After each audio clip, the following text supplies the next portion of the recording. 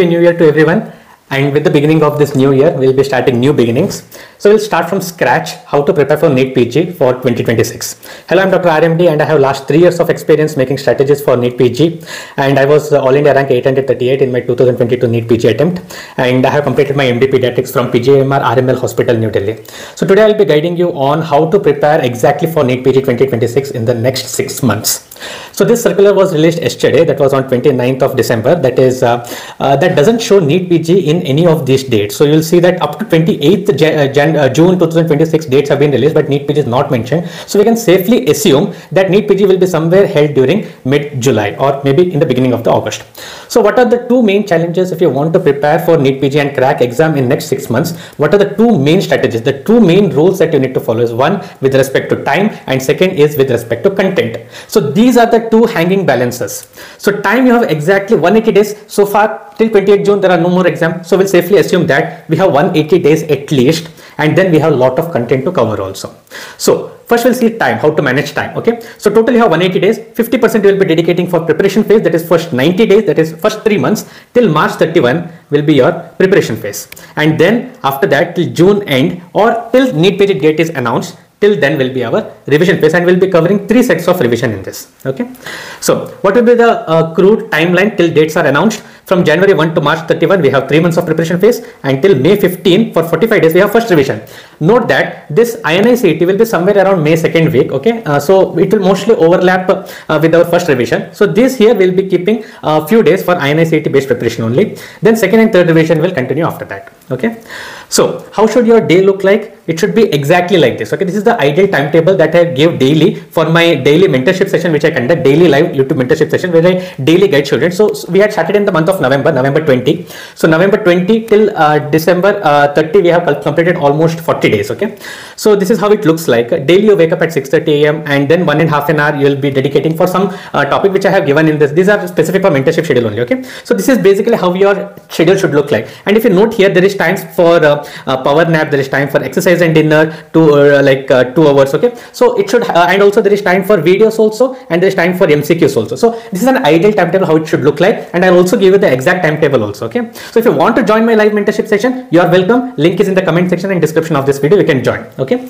So uh, what content to choose? So we have seen things with respect to time. Now next is with respect to content. So there are so many content that is available. One is main videos. If you watch main videos your concepts will be very strong. If you watch rapid revision it will be concise and you will be able to revise. Q bank, you will have touch of mcqs if you're watching pearls uh, going through pearls then you will have one liners if you have custom modules you can practice mcqs well. And then btr is there. You can finish in last 10 days. So the problem is when so much content is there and you have just 180 days left and in that also you have just 90 days for preparation and just 90 days for revision. What exact content should you read is the main question now nothing else. With respect to time what content you should read? What is the best source? And for that i have made a concise uh, uh, like uh, uh, explanation okay?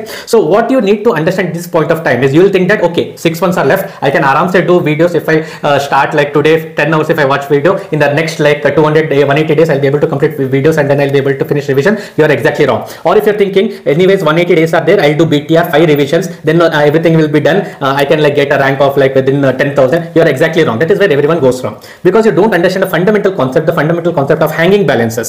That is on one side you have content and concept. So content is on one side and the other side is time. If you go more content you won't have time. If you uh, go for less content you will have more time but your concepts won't be strong. So you need to balance both. So content is inversely proportional to time. And second point content is inversely proportional to retention also. So there is one more factor which comes to play here. That is one is time and the second is what is your iq how much can you have retention? Because what i have seen is the mistake of students which i when I talk to students, many students tell me the same thing that I read main notes, I read whole of QBank, I did it uh, like 70% I completed, but then I couldn't go ahead with revision because it was there was too much to uh, retention. Retention was the problem. I couldn't remember things. Like I couldn't revise it three or four times. So then I switched to BTR. Then that preparation was half on because I started late. And then you know, some of them will be like, sir, I read BTR three to four times, but still I was not able to understand concepts. So I was not able to solve questions. So all these things are the problem which students face in real time. And I know this because I talk to students. I have been talk talking to thousands of students since last uh, three years. So now you will see in the videos also, like you'll see some um, coaching platform videos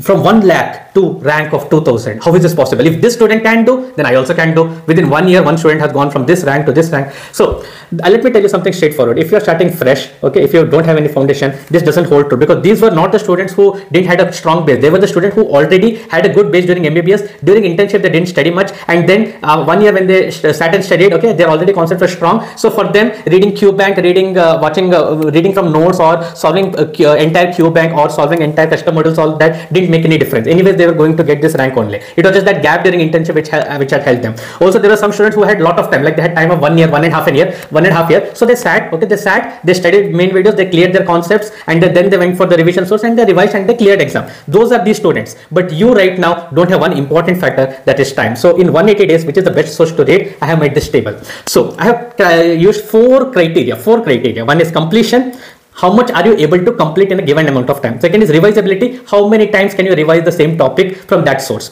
Third is if you read from that source how much is your retention? How much will you be able to remember? And fourth is with the content whatever you're reading how well is your mcq solving skill? So with these i have created a score wise system okay? So let's see for main videos. Main videos is completion. You won't be able to complete everything if you read main videos. Revise also you won't. Many of them won't be able to revise unless you're started in third year or fourth year. Otherwise you can't. Retention will be there. That is because concepts your concepts will be slightly strong. So you'll retain you you'll have some sort of retention but it won't be full retention. And problem solving yes you can solve most of the mcqs but unless you have QBank backup you won't be able to solve majority. So my point system is 3 is for excellent okay and 2 is for uh, average and 1 is for very poor okay so coming to QBank, you won't be able to complete unless you have strong thorough basic in your uh, uh, like uh, this one, okay? Because you want to watch videos.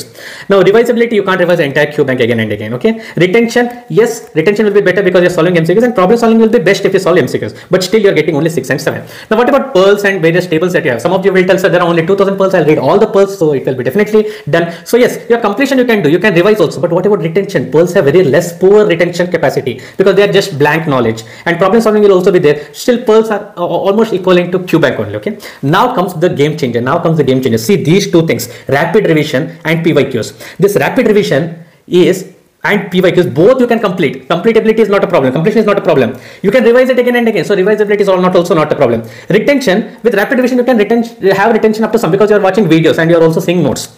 But pyqs your retention is less because you are uh, you are uh, solving questions from a smaller pool. So if a question is asked from outside you may not be able to retain have retention of that much uh, content okay? Problem solving will be better in pyqs as compared to rapid revision. So just reading see that. Uh, a very important point to note here just reading rapid revision is not going to take you anywhere for problem solving because you won't be able to solve mcq just by using rapid revision. That is what i'm telling you. See Marrow uh, uh, recently launched rapid revision world revision world rw okay? So i got many queries. Sir can i read only revision world will i get rank of less than 10000 my direct answer is is no because you're not solving problems at all. You're not solving questions at all. Where are your MCQs? So that's why the highest scoring among all these is rapid revision and PYQ and that is why these both which we can uh, complete also and we can revise also which uh, see whatever retention is not possible in PYQs that will be covered by rapid revision videos and whatever problem solving which is not there with rapid revision that will be covered by PYQs. When you go to custom module, some of you tell that sir I'll solve custom modules, you give me custom model ID. But what is the problem with custom module? Your revisability becomes a problem and your retention is also a problem because you don't know exactly what to read when you're reading custom model. And what about BTR? BTR completion and and revisability I have given full 3 marks. But what about retention and problem solving? You can't because BTR doesn't help you solve MCQs and it doesn't help you understand concept. That is very important because most of you will think that if I revise BTR again and again, if I revise 5 times, I'll be able to solve more questions. No, you are not able to go for retention because you don't have concepts. And because BTR is a subset of revision notes. Rapid revision subset is BTR. So many people ask me, do I have to, what if I do RR and BTR together? Again, I'll tell there is no point at all because BTR is again a subset of RR. Why do you want to do a source which is already there in rapid revision? Now, which rapid revision? It can be of cerebellum, it can be of DAMS, it can be of Prep it can be of Marrow, any rapid revision. Rapid revision has more content compared to BTR. Now, if you read only BTR, for last moment you will get up to maybe 100 correct. But if you want to go more than 100 correct, you need concepts. You need some MCQ solving skills. You need some more content than BTR. And that is where every student fails to understand. What is this 900 topics for NEET PG? For that you need to subscribe to my channel and you'll be knowing in the next video.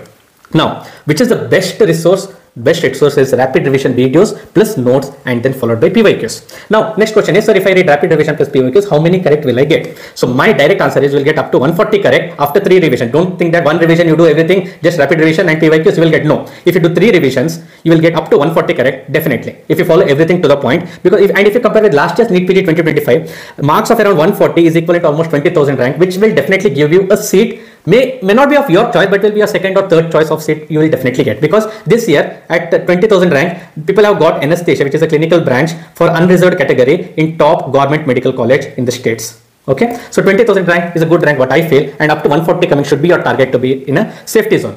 Now few people will be like i want to go from 120 to 140 140 is not enough for me. I want to go above 140 i want to be in the safer zone of 140 to 160 so what should i do? If you want to go more than 140 again you need some extra content. And what is that extra content? Q bank and tables or pearls now, what is the problem with tables and pearls? There are many QBank modules and there are many pearls, 2000 pearls.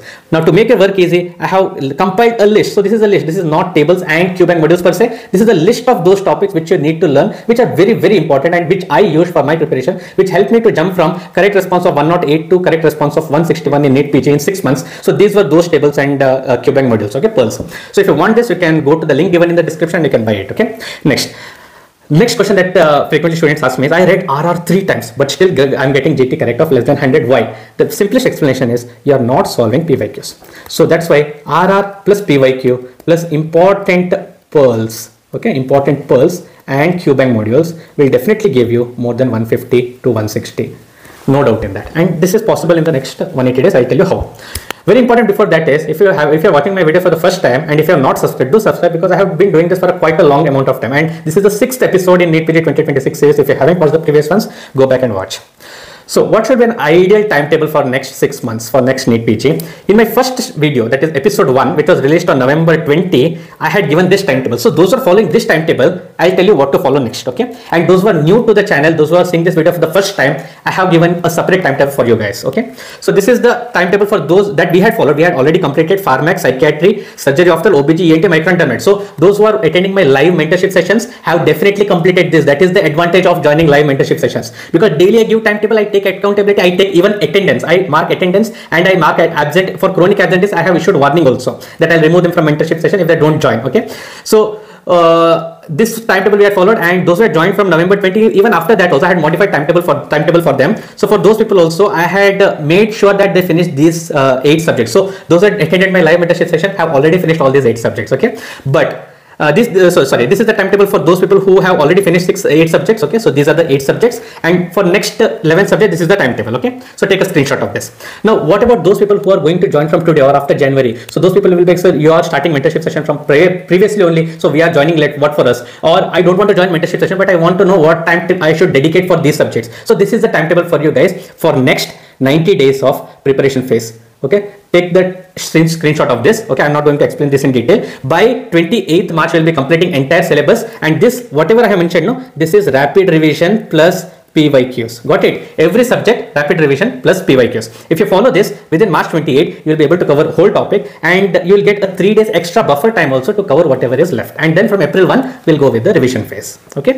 So there are some complicated things. Some people will be like, I have been preparing from last one or years, two years, and uh, like I don't know what exactly to prepare. So there will be a lot of complicated things because I like to take up such challenges. If you see my mentorship uh, program also, many people will be ones who have lost track, like they don't know what to prepare and they want accountability. Okay. That is that was the basis of mentorship program.